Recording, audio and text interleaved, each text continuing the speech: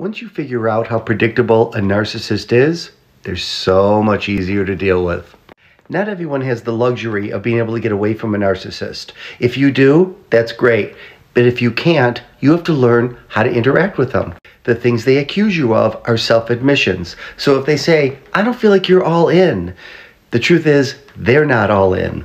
They never want to look bad and they're never going to look bad in the eyes of other people. You have to learn to tolerate that everybody thinks that they're great and you know they're not. You have to remember to do a lot of fact checking because there's a lot of lying and a lot of gaslighting, and you can't really trust most of what they have to say.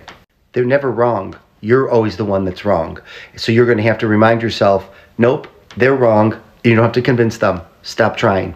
The more you recognize how predictable a narcissist is, the easier it'll be to deal with them, and the less stress you'll feel, and the more you'll be able to maintain your sense of self and self esteem.